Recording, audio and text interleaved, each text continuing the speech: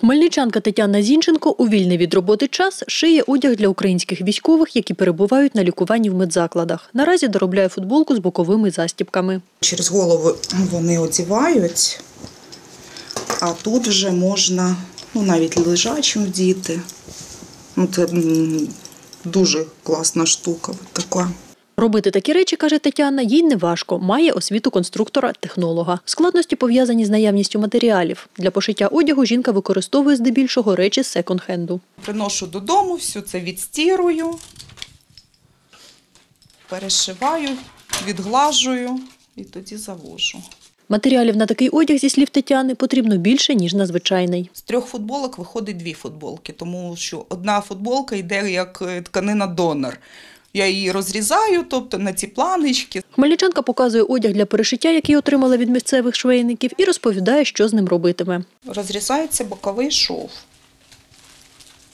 Тобто, от, вставляється сюди от такого плана, от така планочка.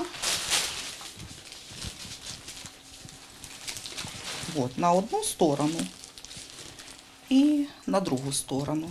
Потім настрачується ліпучкою і закривається.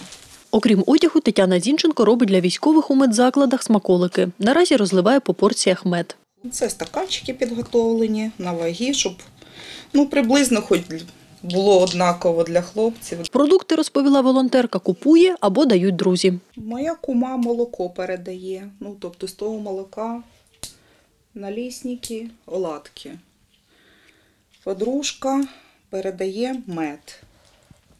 До налісників, до оладок, ну супер.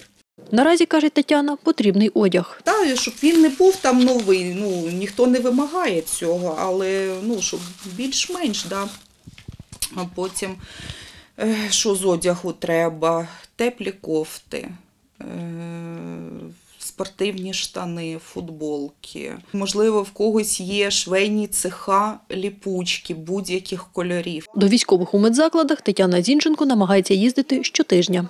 Ті хлопці там сили віддають останні, ну а це, ну, мабуть, що ну, якийсь хоча б мінімум, чим ми можемо їм віддячити, я не знаю просто як по-іншому сказати. Ярослава Антошевська, Віктор Кривий, Суспільне новини, Хмельницький.